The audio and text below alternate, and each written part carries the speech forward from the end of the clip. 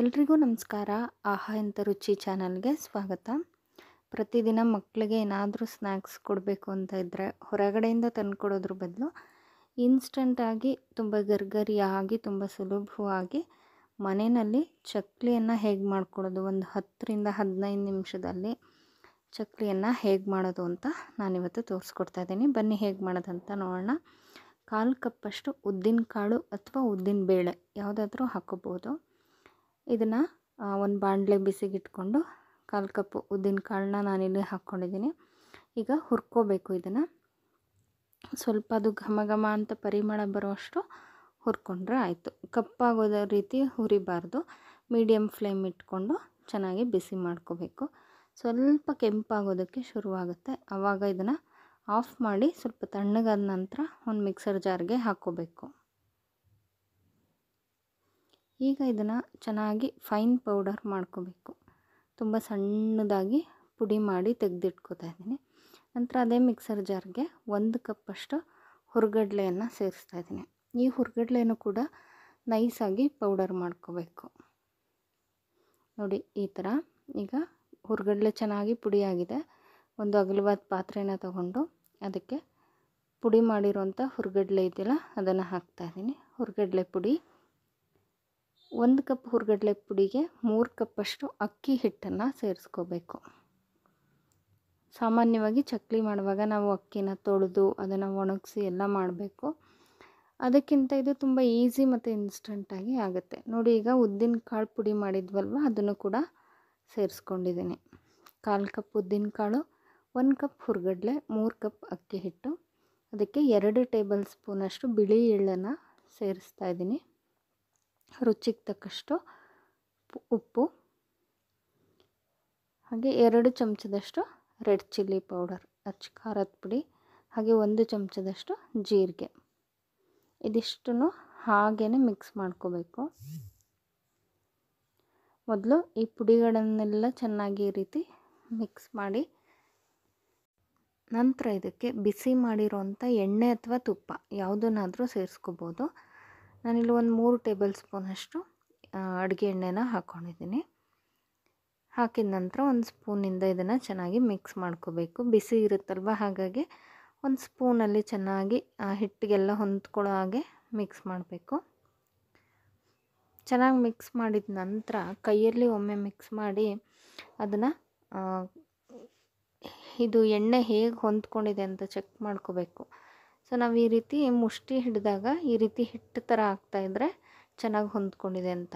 ಈ ರೀತಿ ಹಿಟ್ಟು ಥರ ಆಗ್ತಿಲ್ಲ ಪುಡಿ ಪುಡಿ ಆಗ್ತಿದೆ ಅಂತಂದರೆ ಅದಕ್ಕೆ ಇನ್ನೊಂದು ಸ್ವಲ್ಪ ಎಣ್ಣೆ ಅಥವಾ ತುಪ್ಪ ಬೇಕಾಗುತ್ತೆ ಅಂತ. ಅದನ್ನು ನೋಡಿಕೊಂಡು ಸೇರಿಸ್ಕೊಳ್ಳಿ. ಈಗ ಇದನ್ನು ಎರಡು ಪಾರ್ಟ್ ಮಾಡ್ಕೊಂಡಿದ್ದೀನಿ ಒಟ್ಟಿಗೆ ಕಲಸಿಟ್ಬಿಟ್ರೆ ಹಿಟ್ಟು ತೆಳುವಾಗಿಬಿಡುತ್ತೆ. ಹಾಗಾಗಿ ಸ್ವಲ್ಪ ಸ್ವಲ್ಪನೇ ಕಲಿಸ್ಕೋಬೇಕು. ನಾನಿಲ್ಲಿ ಬಿಸಿ ನೀರನ್ನು ಹಾಕ್ಕೊಂಡು ಕಲಿಸ್ಕೊತಾ ಇದ್ದೀನಿ. ಯಾವುದೇ ಕಾರಣಕ್ಕೂ ತಣ್ಣೀರನ್ನು ಹಾಕಬಾರ್ದು. ತಣ್ಣೀರು ಹಾಕ್ಬಿಟ್ರೆ ಪುಡಿ ಪುಡಿ ಆಗಿಬಿಡುತ್ತೆ. ಎಣ್ಣೆಗೆ ಹಾಕಿದಾಗ ಪುಡಿ ಆಗಿಬಿಡುತ್ತೆ. ಹಾಗಾಗಿ ಸ್ವಲ್ಪ ಬಿಸಿ ಇರೋ ನೀರನ್ನು ಹಾಕ್ಕೊಂಡು ಸ್ಮೂತಾಗಿ ಇದನ್ನು ಕಲಿಸ್ಕೋಬೇಕು. ತುಂಬ ಗಟ್ಟಿನೂ ಇರಬಾರ್ದು. ತುಂಬ ತೆಳುವಾಗಿ ಅಂಟು ಅಂಟೋ ಥರನೂ ಇರಬಾರ್ದು. ನೋಡಿ, ಈ ಹದದಲ್ಲಿ ಕಲಿಸ್ಕೋಬೇಕು. ನಂತರ ಚಕ್ಲಿ ಮಾಡುವಂಥ ಒರಳನ್ನು ತಗೊಂಡು ಅದಕ್ಕೆ ಎಣ್ಣೆನ ಹಚ್ಚಬೇಕು ಪೂರ್ತಿ ಎಲ್ಲ ಕಡೆಗೂ ಸ್ಪ್ರೆಡ್ ಆಗೋ ಥರ ನೀಟಾಗಿ ಎಣ್ಣೆಯನ್ನು ಹಚ್ಕೋಬೇಕು. ಮೊದಲೇ ಮಾಡಿರುವಂತಹ ಚಕ್ಲಿ ಹಿಟ್ಟನ್ನು ಇದರಲ್ಲಿ ಹಾಕ್ಕೋಬೇಕು ಚೆನ್ನಾಗಿ ನಾದ್ಬಿಟ್ಟು ಹಾಕ್ಕೋಬೇಕು ಚೆನ್ನಾಗಿ ನಾದಿದ್ರೆ ಅದು ಚಕ್ಲಿ ಪುಡಿ ಪುಡಿ ಆಗೋದಿಲ್ಲ. ಈಗ ಇದನ್ನು ಫಿಲ್ ಮಾಡ್ಕೊಂಡಿದ್ದಾಗಿದೆ. ಒಂದು ಪ್ಲಾಸ್ಟಿಕ್ ಕವರ್ ಮೇಲೆ ನಾನು ಇದನ್ನು ಒತ್ಕೋತಾ ಇದ್ದೀನಿ. ನೋಡಿ, ನಿಮಗೆ ಎಷ್ಟು ಅಗಲ ಬೇಕೋ ಅಷ್ಟು ಅಗಲ. ಗ್ಯಾಪ್ ಇಲ್ಲದೆ ಇರೋ ರೀತಿ ಇದನ್ನು ಹತ್ತು ಹತ್ತಿರಕ್ಕೆ ಈ ರೀತಿ ಬಿಡಬೇಕು.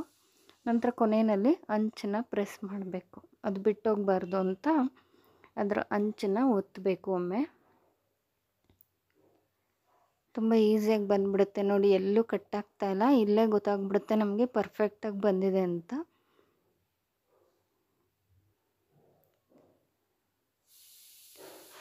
ಈಗ ನಾನು ಎಣ್ಣೆನ ಬಿಸಿಗೆ ಇಟ್ಕೊಂಡಿದ್ದೆ.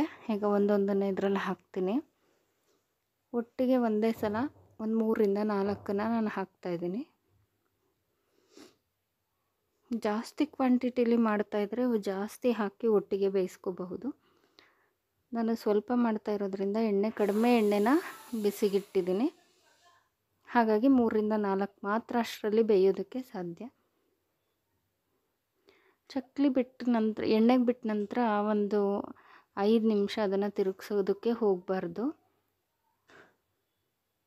ಸ್ವಲ್ಪ ಒಂದು ಸೈಡ್ ಚೆನ್ನಾಗಿ ಬೆಂದ ಮೇಲೆ ಈ ರೀತಿ ಇನ್ನೊಂದು ಸೈಡ್ ಕೂಡ ಬೇಯಿಸ್ಕೋಬೇಕು.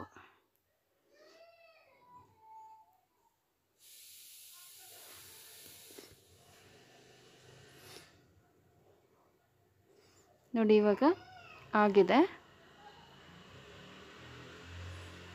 ಚೆನ್ನಾಗಿ ಬೆಂದಿದೆ. ಒಂದು ಸ್ವಲ್ಪ ಕೂಡ ಪೀಸ್ ಆಗಿಲ್ಲ. ಪೂರ್ತಿ ಉಳಿದಿರೋಂಥ ಹಿಟ್ಟನ್ನು ಕೂಡ ಒತ್ತಿಬಿಟ್ಟು ನಾನಿಲ್ಲಿ ಎಣ್ಣೆಯಲ್ಲಿ ಕರೆದು ಇಟ್ಕೊಂಡಿದ್ದೀನಿ ನೋಡ್ತಾ ಇರ್ಬೋದು ನೀವು ಎಷ್ಟು ಚೆನ್ನಾಗಿ ಗರ್ಗರಿಯಾಗಿ ಬಂದಿದೆ ಅಂತ. ತುಂಬ ಕಡಿಮೆ ಸಮಯದಲ್ಲಿ ಗರ್ಗರಿಯಾಗಿ ನೀವು ಚಕ್ಲಿಯನ್ನು ಮಾಡಿಕೊಡ್ಬಹುದು. ಮಕ್ಕಳಿಗಂತೂ ತುಂಬ ಇಷ್ಟ ಆಗುತ್ತೆ. ತುಪ್ಪ ಹಾಕಿ ಮಾಡೋದ್ರಂತೂ ತುಂಬಾ ಚೆನ್ನಾಗಿರುತ್ತೆ ಟೇಸ್ಟ್ ಕೂಡ. ನೀವು ಕೂಡ ಈ ರೀತಿಯಾಗಿ ಇನ್ಸ್ಟಂಟ್ ಚಕ್ಲಿಯನ್ನು ಟ್ರೈ ಮಾಡಿ ನೋಡಿ. ಇಷ್ಟ ಆದರೆ ನನ್ನ ಚಾನಲ್ಗೆ ಸಬ್ಸ್ಕ್ರೈಬ್ ಮಾಡಿ ಲೈಕ್ ಮಾಡಿ ಶೇರ್ ಮಾಡಿ. Thank you